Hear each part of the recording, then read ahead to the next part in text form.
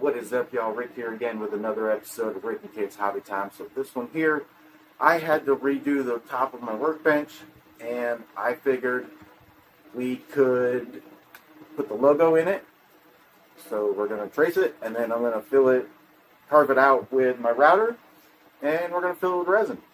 See what happens. See if I don't mess it up this time. Let's get to it, y'all.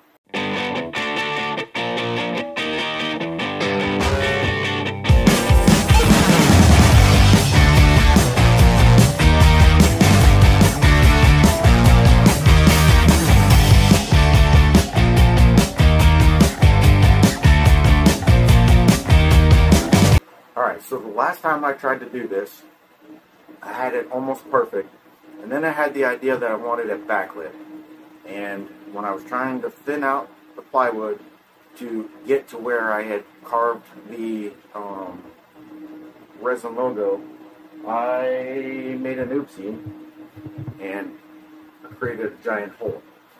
So I figured we could redo it and hopefully this time it goes better. Um, yeah, hopefully y'all will want to follow along with me. So first things first, we got to trace the logo and everything. Um, I have done some preemptive steps. I've already gone through and put a seal coat on here because uh, last time when I was doing that one, I noticed that I was digging into the wood.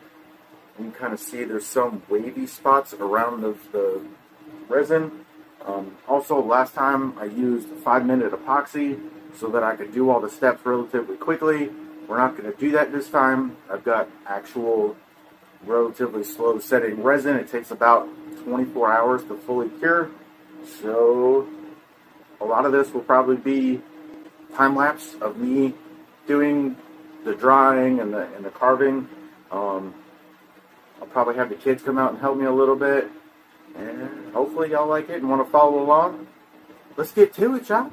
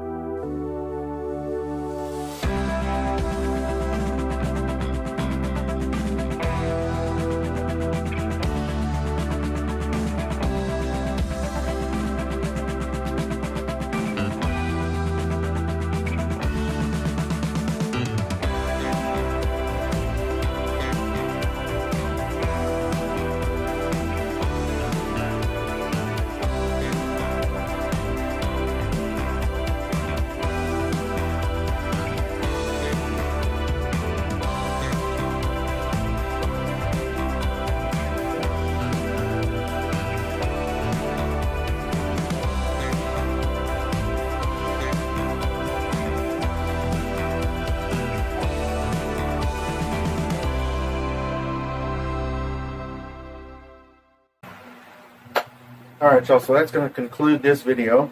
Um, but I wanted to give you kind of a sneak peek on how it's going.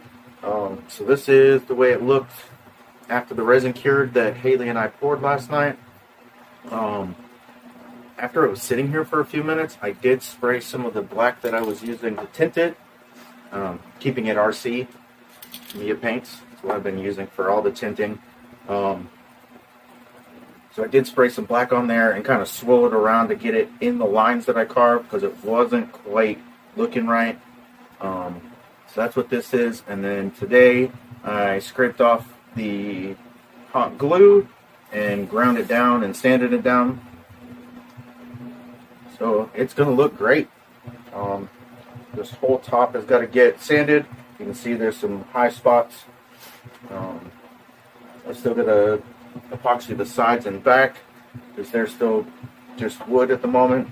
But I'll probably do that when I do the whole top coat. But that'll be in the next video. Hopefully y'all like this. I'm stoked about how this is coming out. Like, subscribe, share, comment, all that stuff. And uh, thanks for watching, y'all.